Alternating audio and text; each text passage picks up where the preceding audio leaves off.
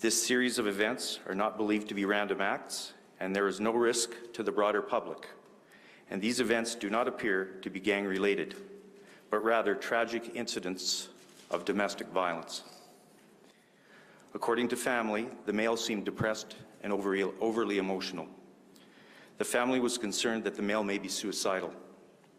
Police arrived at the North End residence, and the male was not located, and there was no response, and nothing suspicious was noted at the, at the residence.